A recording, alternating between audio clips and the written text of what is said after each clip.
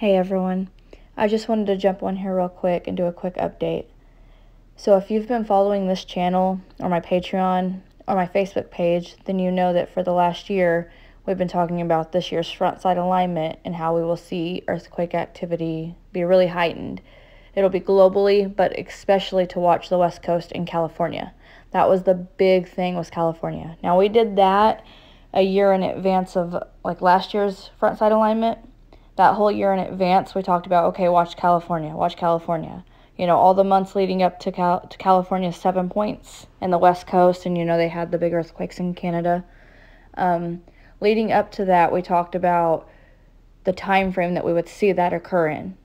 That would be during this direct front side alignment with the brown dwarf system.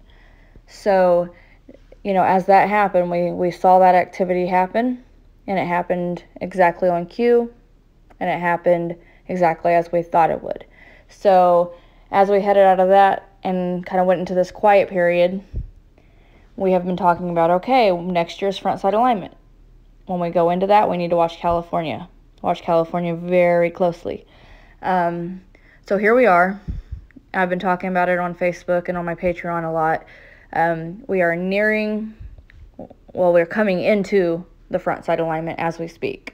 So the direct front side alignment is in July and August, but we start to have the activity pick up. So you saw, or you've been, I know that you've all noticed that um, the last few months it was kind of a quiet period. There was not much going on, and then all of a sudden here recently we started having a bunch of six points, and then it started being a bunch of seven points. So that's as we come into this alignment. So remember, that means that in the front side alignment, we are on the same side of the sun as the brown dwarf system, but it's to the south of us, under the ecliptic. So um, it's coming up from the south. Now, when we have the backside alignment, it's kind of aligned. It's down below, but it's on the opposite side of the sun. But we're in the worst possible alignment there is. The front side alignment is the strongest alignment. So Anyways, let me get into this real quick. I've been talking about that for the last year. We all have, our group, about, you know, California needs to be on heightened alert. The West Coast, you know, all that area. We saw, you know, all that activity happen last year. We need to watch it this year's frontside alignment too. Sure enough, we are coming into that alignment and we've just had a six point. So we need to have eyes on this. Um, the direct part of the alignment is like the end of July into the beginning of August. But you can see activity from, you know, then, like I started the watch from like around May, but I really picked up on the watch about June 18th. I made a, a post, you know, now eyes on California. So we need to watch it now. Now through the front side alignment. So this can last throughout September.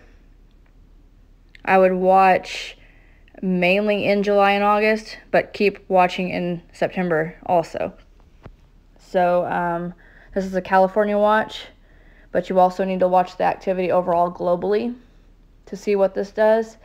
You know, any odd spots being hit and the volcanic act or the volcanic activity, the volcanic and magma. That's a big one. When there's magma movement, this causes all kinds of magma movement, movement, and we are already seeing all kinds of volcanic earthquakes and magma movement happening. So I just wanted to jump on here and do this kind of quick update.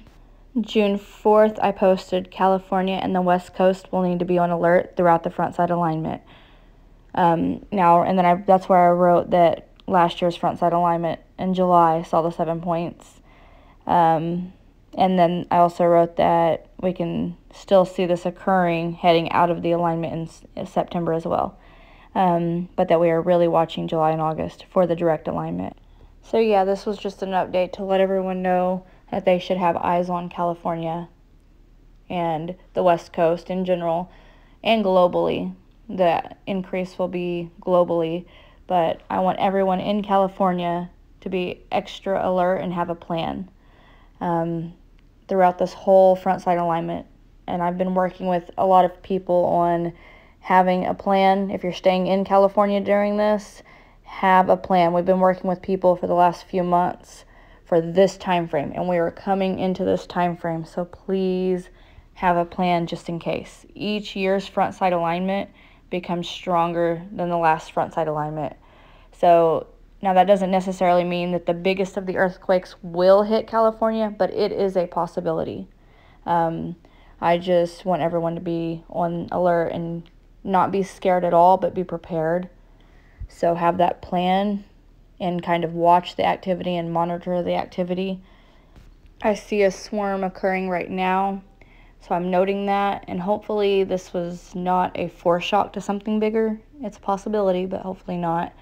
Um, now, this whole watch for California should actually be for the whole West Coast. I mean, the whole West Coast should have a plan just in case. And I just wanted to note we were kind of watching Mexico also, and they've had activity.